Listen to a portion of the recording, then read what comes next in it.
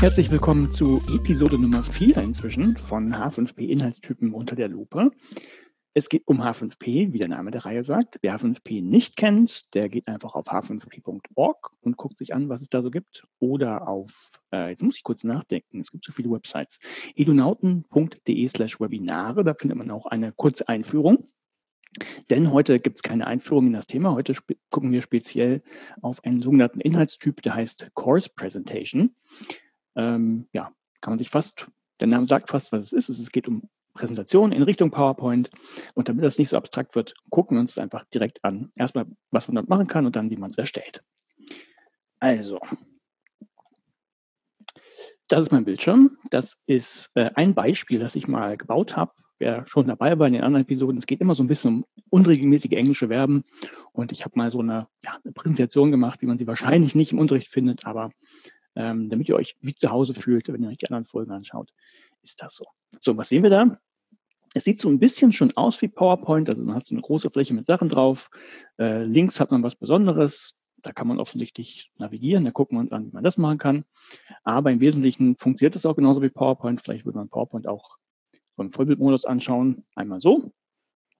Und ähm, genau wie bei PowerPoint könnte man jetzt mit den Pfeiltasten springen oder auch hier unten mit der Navigation. Und das mache ich einfach mal. Ich klicke mal hier weiter. Und ne, wie bei PowerPoint auch, das geht einfach dann ein Schritt weiter. Da ist ein bisschen Text. Jetzt sehen wir da unten rechts noch ein bisschen mehr. Äh, da ist so ein kleines i. Da kann man draufklicken. Da habe ich gesagt, naja, vielleicht gibt es noch ein paar mehr unregelmäßige Verben. Gebe ich noch mal ein paar Beispiele. Kann man auch wieder zumachen. Und dann gibt es dann noch so einen anderen Knopf, da ist so eine Kette drauf. Wenn man da drauf klickt, gibt es nochmal ja, einen Link offensichtlich auf den Wikipedia-Eintrag zu unregelmäßigen Verben. Das ist äh, letztlich auch die Quelle, wo ich die Definition äh, mal kurz nachgeschlagen habe, weil ich natürlich nicht aus dem Sprachenlernen komme. Ich hoffe, ich habe sie verändert. Ich hoffe, sie, sie stimmt noch so ungefähr. Also das kann man machen. Dann, wenn man jetzt weiterspringen würde, hier sieht man schon, okay, hier ist so ein Kreis, dann sagt er auch schon Lückentext. Jetzt kommen wir zu etwas, was mit PowerPoint definitiv nicht mehr geht.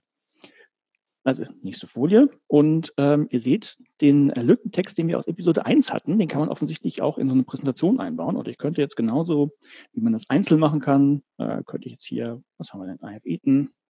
Machen wir mal eins richtig und mal eins falsch. Ähm, irgendwie sowas.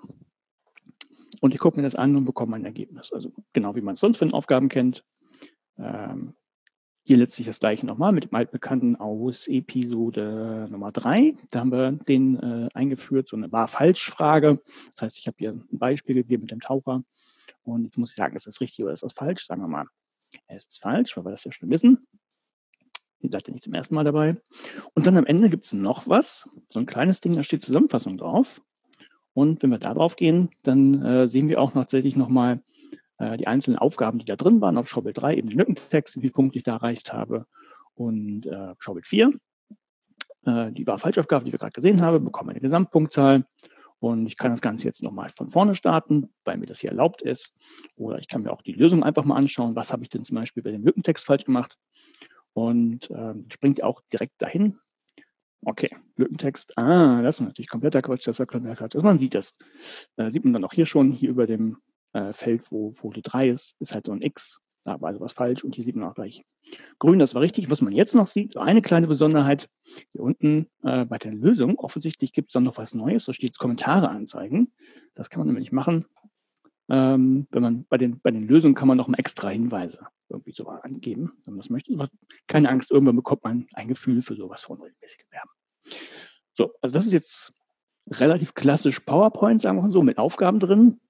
Es gibt noch einen zweiten Modus und da habe ich dann ähm, kein Beispiel für gemacht, sondern da gibt es ein, ein sehr schönes Beispiel, ist auch ein bisschen aufwendiger, wenn man sowas macht, das habe ich nicht neu erstellt.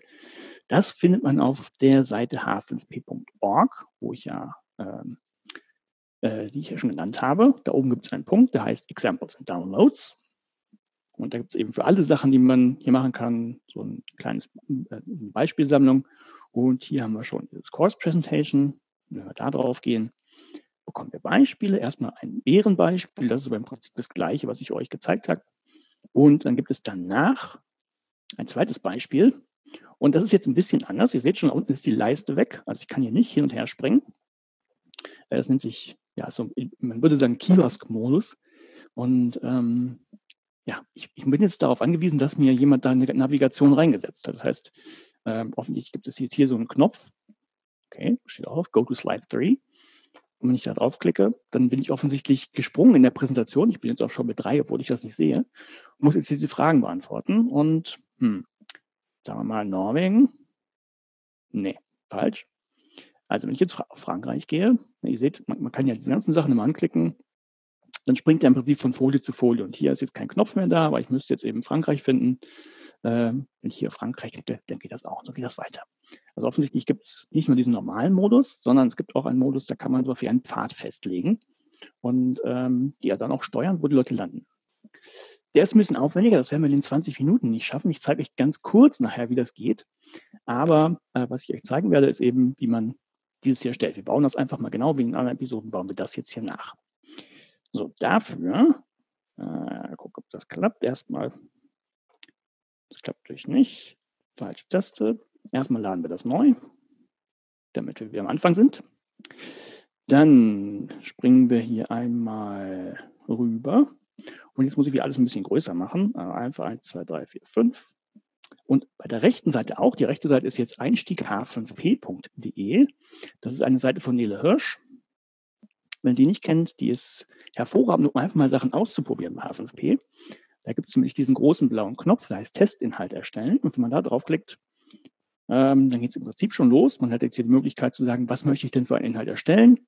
Und wir möchten eine Kurspräsentation und dankenswerterweise ist die auch schon da. Das heißt, wenn ich jetzt hier draufklicke, äh, dann bekomme ich den Editor für die, für die Kurspräsentation. Ich mache jetzt, um euch was zeigen zu können, noch eine kleine andere äh, äh, Sache. Ich logge mich hier einmal ein. Das ist nicht, nicht wichtig, um das erstellen zu können, aber äh, ich sage euch dann an der entsprechenden Stelle, warum ich das brauche. Und jetzt hoffe ich, dass ich mein Passwort weiß. Natürlich nicht.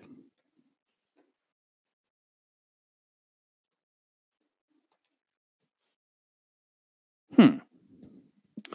Nochmal langsam.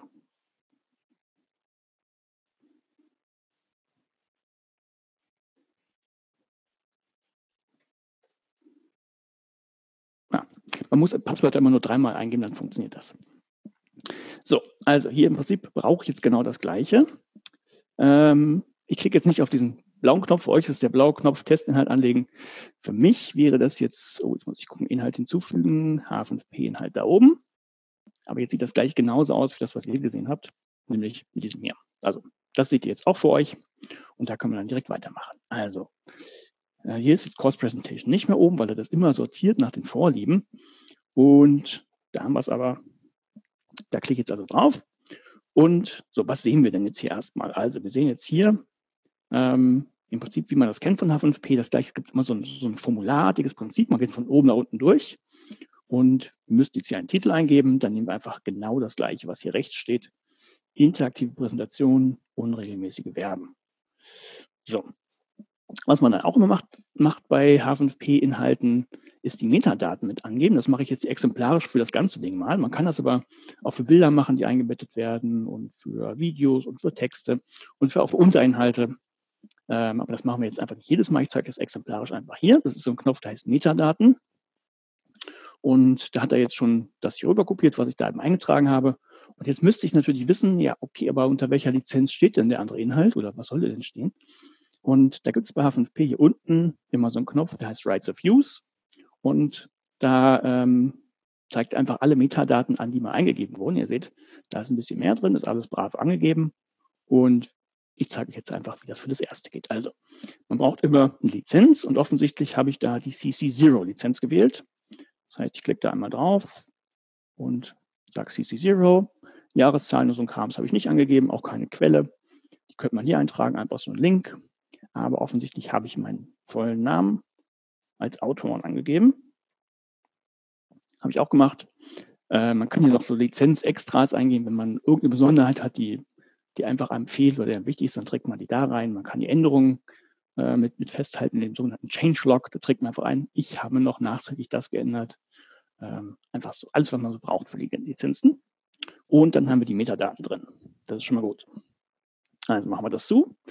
Dann, wenn, wenn ihr aufgepasst habt, hm, vorne war das, war der Hintergrund äh, ja, sehr kontrastreich, sehr farbig. Hier ist er ein bisschen blasser. Ähm, aber auf den anderen Folien war es ja immer so dieser blasse Hintergrund. Also kann man sagen, das wäre ja schön, wenn das so der Standardhintergrund wird für die, für die Präsentation. Und das macht man einfach hier unten. Wir fangen mit den Knöpfen hier an. Also, ihr seht schon, man kann hier neue Folien hinzufügen, man kann auch Folien einfach kopieren, duplizieren. Und der nächste Punkt ist eben der Folienhintergrund. Und dann gehe ich da drauf und jetzt muss ich mir überlegen, soll das nur für diese Folie gelten oder soll das für alle Folien gelten? Und ich will ja so ein Master erstellen. Also lasse ich das. Ich möchte gerne ein Bild als Hintergrund, das ist auch super. Ähm, ich könnte sonst einfach noch eine Farbe einwählen, wenn ich nur grün haben möchte oder rot oder sowas. Und dann gehe ich einfach weiter. Hier ist noch der Hinweis, welche, welches Format das Bild am besten haben sollte. Und dann füge ich das hinzu. Und da gehe ich zu meinen Bildern. Da habe ich ein bisschen aufgeräumt. Und da haben wir hier die helle Version von dem Bild. Liter hoch. So, und hier unten gibt es dann äh, den Knopf, der heißt die Urheberrecht bearbeiten. Da könnte ich dann die ganzen Metadaten wieder angeben. Das spare ich mir jetzt einfach, damit es ein bisschen zügiger geht. Aber wenn ihr das auch machen wollt, wenn ihr Inhalte teilen wollt, sollte das natürlich alles rein. So, also haben wir schon so einen äh, allgemeinen Hintergrund. Wir können einfach mal gucken, wie das aussieht. Wir legen mal einfach eine neue Folie an. Wir brauchen ja noch welche, zwei. Offensichtlich habe ich jetzt überall diesen hellen Hintergrund. Prima.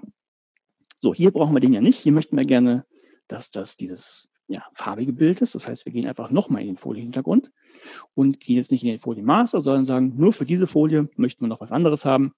Und äh, dann packen wir da einfach noch ein Bild dazu. Und in dem Fall eben die andere Flagge.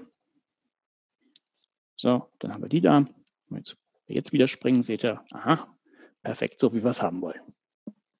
So, dann brauchen wir erstmal noch zwei Sachen. Und zwar ähm, haben wir hier diese, diese Fläche da hinten, die ist irgendwie so hm, dunkel und transparent und darüber haben wir einen Text oder da drin ist ein Text. Äh, das, das kann man ganz schön mit H5P hier mitmachen. Man klickt hier drauf, das ist Shapes heißt, das sind eben verschiedene Flächen und wir wollen ja sowas, ja, was Rechteckiges, dann nehmen wir den. Und jetzt müssen wir letztlich nur sagen, okay, welche Füllfarbe soll das haben? Und dann regeln wir das einfach auf schwarz runter dann ist das ja so ein bisschen transparent. Das regelt man einfach hier. Das heißt, man zieht das vielleicht so auf na, 75. Dürfte ungefähr hinkommen. Und jetzt könnten wir hier noch andere Sachen einstellen, eine Rahmenfarbe, eine Rahmenbreite, ob das, der Rahmen durchgezogen sein soll, ob Ecken noch abgerundet sein sollen. Also alles, was man so typischerweise kennt. Und jetzt sagen wir fertig. Jetzt passt das natürlich nicht. Das heißt, wir ziehen uns das mal ein bisschen in die Länge und so, wie wir es brauchen. Machen wir jetzt mal nach Gefühl. Ungefähr so. Das sieht doch halbwegs gut aus.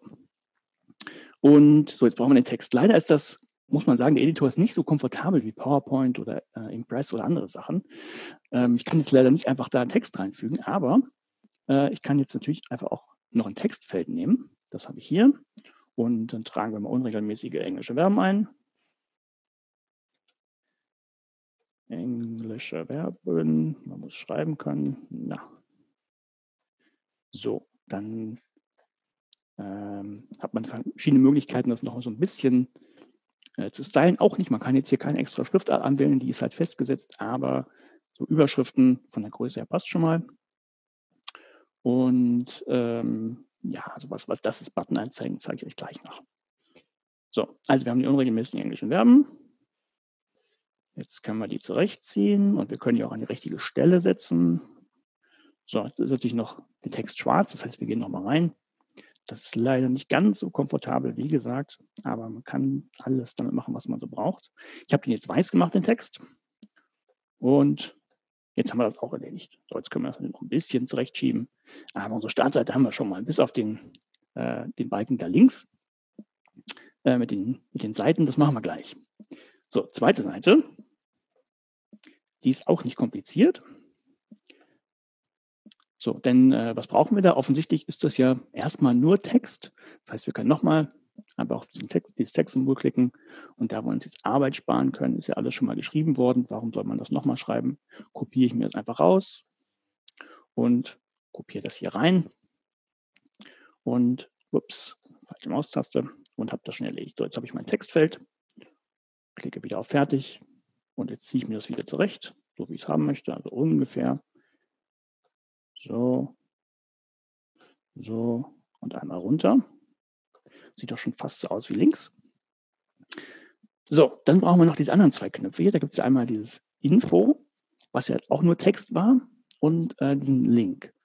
So, und passenderweise, also beim Info passt es nicht, hier, aber das letztlich ist es ja nur wieder Text, dieses hier, was ich meinte, also dieses Infofeld.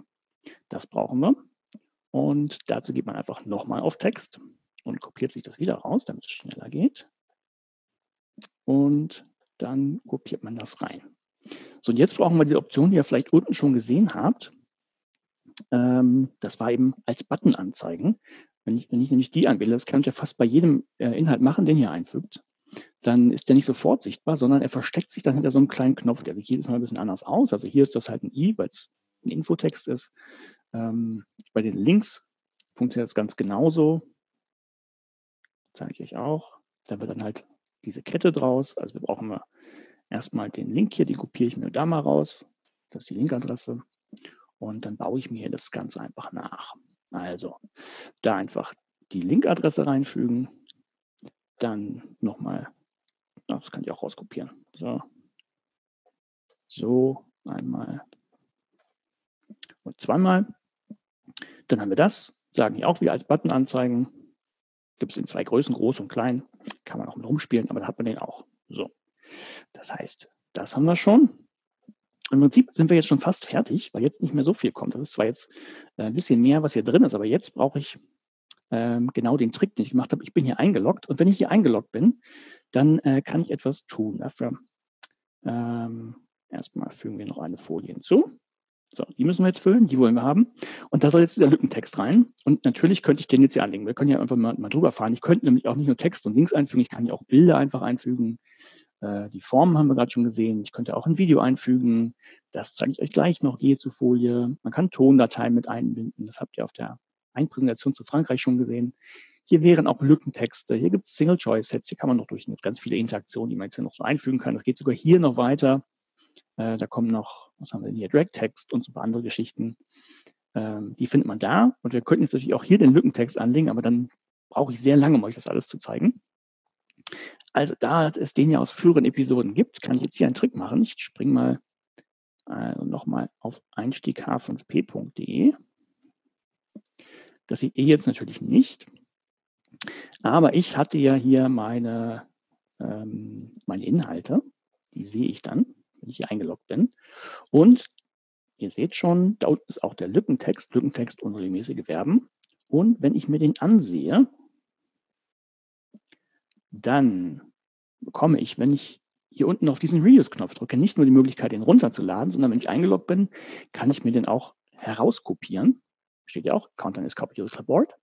Das heißt, dann habe ich jetzt eine Zwischenablage und ich kann jetzt in mein anderes Fenster gehen auf derselben Plattform und äh, kann entweder Steuerung V drücken oder hier auf diesen Einfügen-Knopf.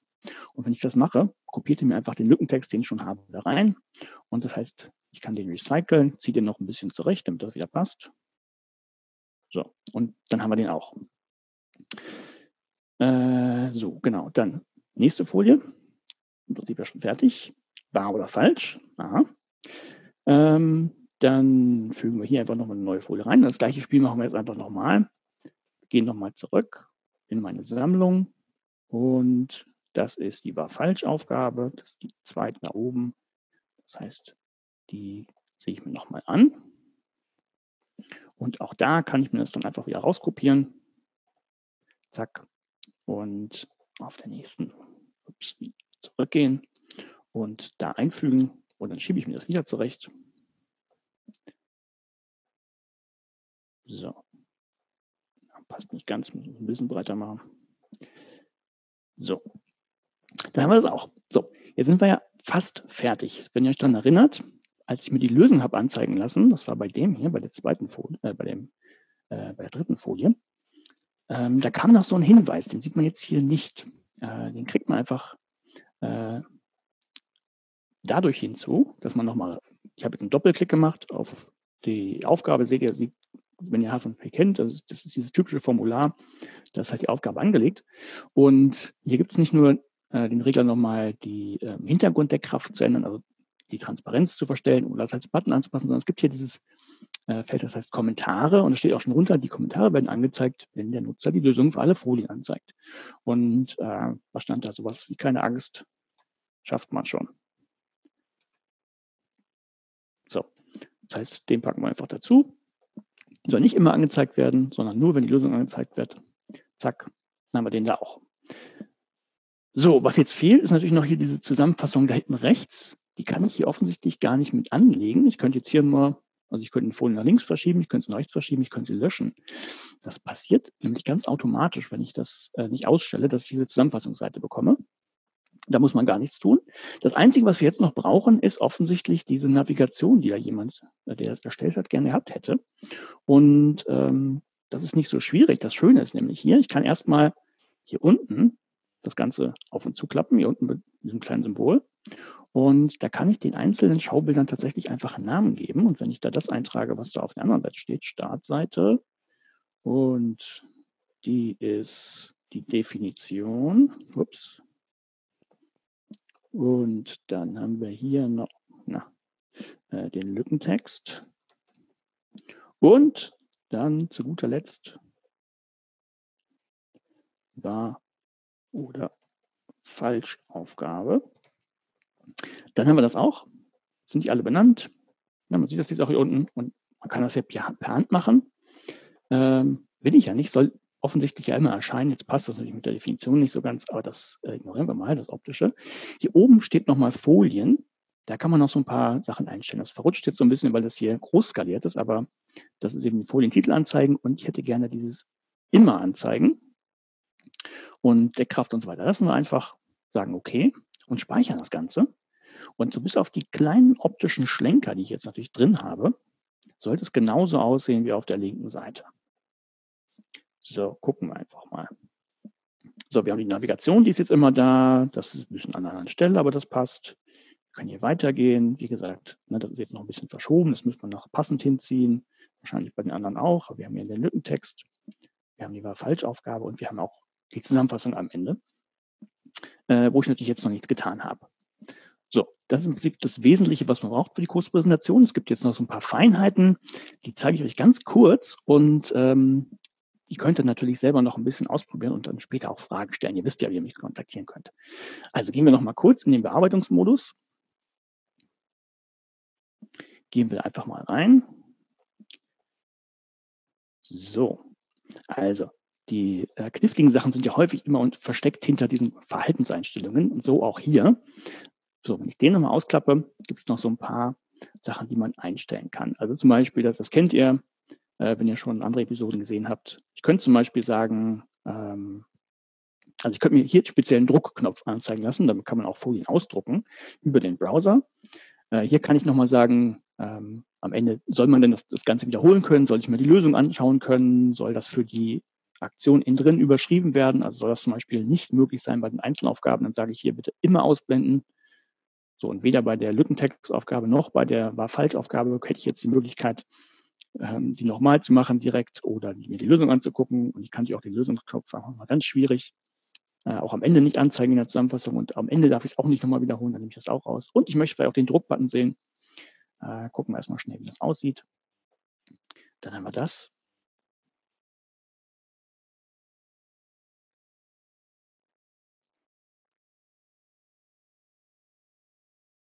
Na komm, liebes Internet.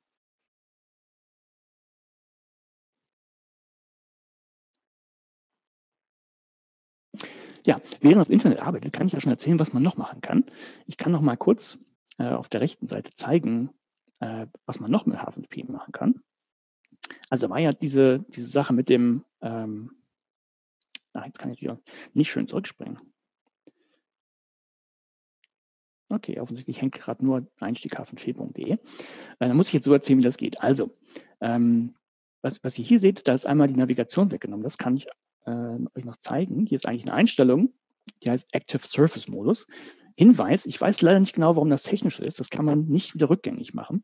Das heißt, wenn man es einmal eingestellt hat und dann speichert, dann ist das so. Aber was sie macht, äh, dieser Modus, der nimmt unten diese Leiste weg, mit der man äh, navigieren kann. Die, diese, ne, die, die wird dann einfach weggenommen. So auf der linken Seite, die sieht man nicht mehr. Und dann kann man natürlich auch nicht mehr springen direkt. Ne? Man könnte es mit den Pfeiltasten machen, aber in diesem Active Surface Mode sind auch die Pfeiltasten äh, ausgestellt. Das funktioniert dann nicht. So, jetzt sind wir da durch. Jetzt hier trotzdem erstmal weiter. Also das ist dann weg.